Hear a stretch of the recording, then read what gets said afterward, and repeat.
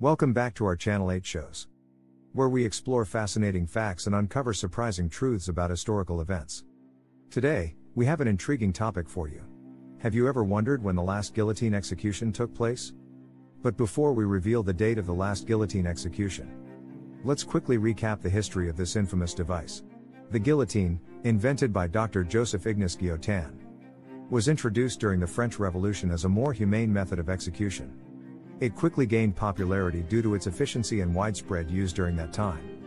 The guillotine was extensively used during the Reign of Terror, led by Maximilien Robespierre.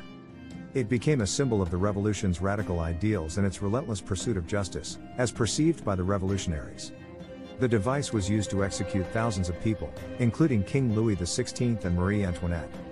However, as time went on, public opinion shifted, and the guillotine fell out of favor. People started questioning its brutality and the morality of state sanctioned executions. So, when was the last time the guillotine was used to carry out an execution? Brace yourself for this surprising revelation. The last guillotine execution took place in France on September 10, 1977. Yes, you heard that right, as recent as the late 20th century.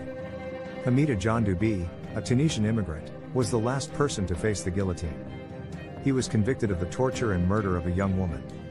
Djandoubi's execution marked the end of an era, as France abolished the death penalty shortly afterward, making it the last country in Western Europe to do so.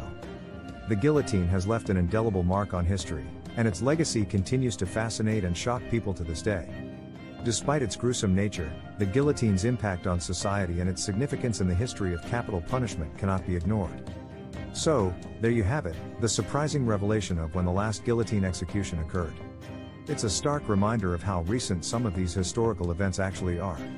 If you found this video intriguing, be sure to give it a thumbs up and subscribe to our channel for more captivating facts and historical tidbits. And remember, history is full of surprises that can challenge our perceptions of the world. Thank you for watching, and we'll see you next time.